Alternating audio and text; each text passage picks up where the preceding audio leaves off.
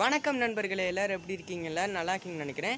இன்றைக்கி வந்து பார்த்திங்கன்னா நம்ம நம்மளுடைய டெரஸில் தான் இருக்கோம். நான் வந்து உங்களுக்கு போன வீடியோவில் சொல்லியிருப்பேன் நோய் எதிர்ப்பு சக்தியை எப்படி அதிகரிக்கலாம் அப்புறம் நம்ம வந்து ஆரோக்கியமாக எப்படி இருக்கலாம்னு. ஸோ ஆரோக்கியமாக எப்படி இருக்கலாம்னா அதில் வந்து ஒரு டிப்பு தான் நான் சொன்னேன். ஆரோக்கியமான உணவை சாப்பிடணும்னு. ஸோ ஆரோக்கியமான உணவுனால் என்னென்ன? சாப்பாடு தோசை இட்லி அப்புறம் சப்பாத்தி பூரி இதெல்லாம் ஆரோக்கியமான உணவு. சாப்பாட்டில் நம்ம சாப்பிட்ற வெள்ளரிசி வந்து ஆரோக்கியமே கிடையாதுங்க. அதை நீங்கள் சாப்பிடாதீங்க. அதெல்லாம் சாப்பிட்டவங்களுக்கு கடைசியில் சுகர் கண்டிப்பாக வருங்க. நம்ம வெள்ளை அரிசிக்கு பதிலாக நம்ம பாரம்பரிய நிறைய வகைகளான அரிசிகள் இருக்குது மாப்பிள்ளை சாம்பா கருப்பு கோணி சிவப்பு சாம்பா ஏன் மட்டை கூட சாப்பிடலாம். இந்த மாதிரி நம்ம பாரம்பரிய நிறைய அரிசி வகைகள் இருக்குது அதை சாப்பிடுங்க.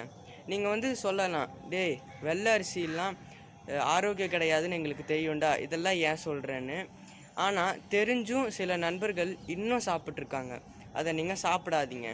அது வந்து இந்த கொரோனா டைமில் அந்த இப்போ ஏதாவது நோய் வந்துச்சுன்னா சீக்கிரமாக கொரோனா வர்றதுக்கு நிறையா வாய்ப்பு இருக்குது அதனால நம்ம நம்மளைய ஆரோக்கியமாக வை வச்சுக்க நம்ம வந்து நல்ல அரிசி வகைகளை சாப்பிடணும்.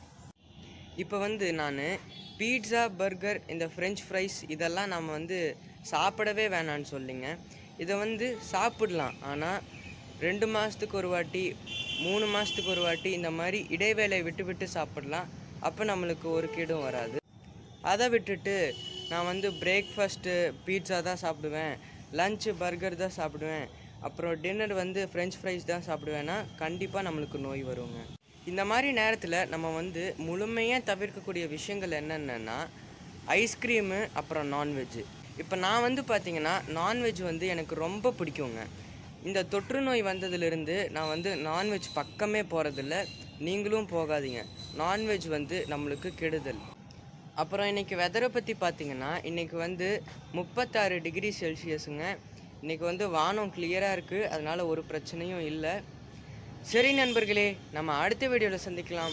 அதுவரையும் உங்களிருந்து விடைபெறுவது உங்கள் சாம் ப்ரோஸ்